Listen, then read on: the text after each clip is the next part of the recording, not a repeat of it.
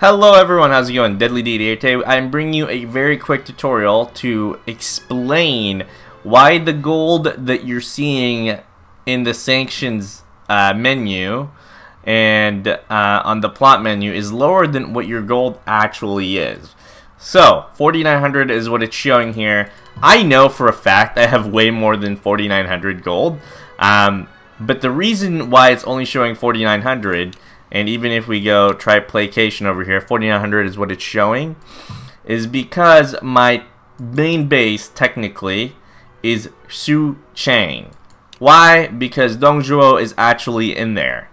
Um, so if I go to you see right here in the the right side Dong Zhuo is right there. I'm having him transfer to Luoyang right? So what I did was move transfer and then pick Dongzhuo and then move him to wherever base you want him to move him to.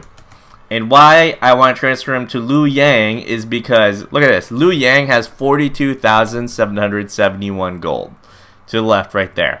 And in order for me to be able to uh, actually spend my gold into these, using these other menus, you know, like placations, estrange, and all, and, all, and sanctions and all this stuff, I need to have Dong Zhuo in a place where the gold actually is. So I'm just gonna skip this turn here and then we're gonna watch Dong Zhuo essentially move from still transferring. So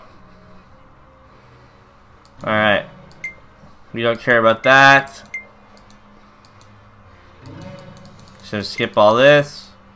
Okay Dong Zhuo is still transferring to Luoyang.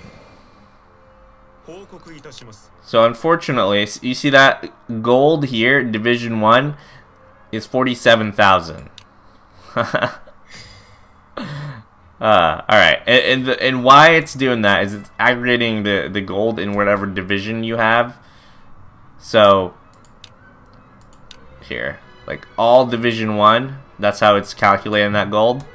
Um, but that's clearly not the spendable gold, I would say. So I'm gonna do this again, and he's gonna go to Luoyang, and once he's at in Luoyang, we'll be able to spend like 40 plus thousand of that money. So you watch this. Okay, let's skip this.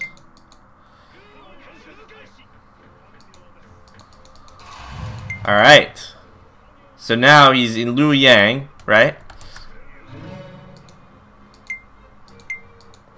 Okay. Now that he's in Luoyang, 50,000 gold is kind of the aggregate Division 1. Now, as you can see here, my gold that I am able to spend has increased like tenfold. Um, so, be aware of where your ruler is, because whatever city that ruler goes into, that is essentially you know that dictates how much gold you can spend. And so let's just say that you have, uh, let's just say you have Dong Zhuo still over here, and, and you want him to raise an army here because there's 26,000 troops or whatever.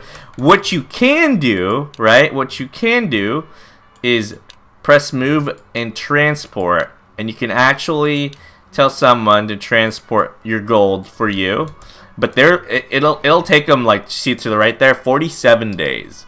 So that's like what? Almost five turns, really?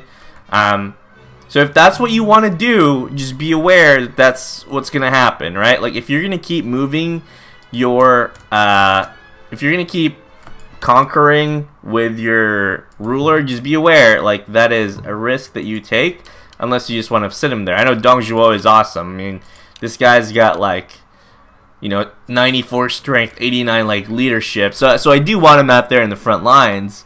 Um, and and actually, if if you so I conquered the city here. If I didn't make Dong Zhuo go in there, he would actually still be counted in here. So as soon as they kind of redeploy into like a big city like this, then it like reassigns them. Um, so if I would have kept his like I don't know, he probably had half the troops of what he started with with all the the conquests that I've done. If I would have just kept it there, you know, then we the spendable gold necessarily wouldn't necessarily change because he's technically still from Luoyang, but I needed to redeploy him because I wanted uh, fresh new troops.